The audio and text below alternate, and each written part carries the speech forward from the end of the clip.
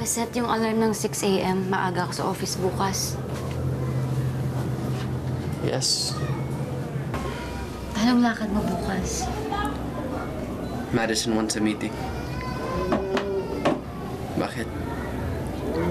Wala naman.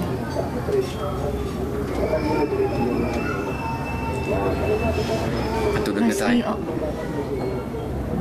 Go ahead.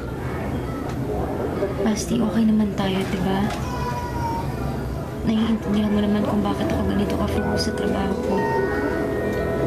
Para sa pamilya ko. Para sa atin. Hmm. Okay. Okay tayo? Hmm. Yes, okay.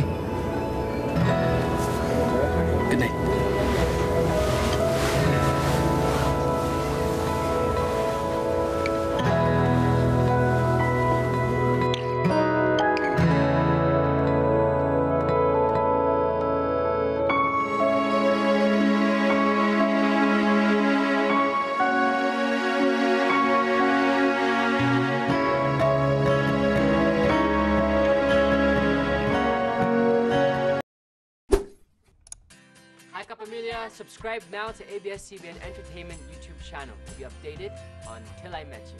To watch latest videos, just click the.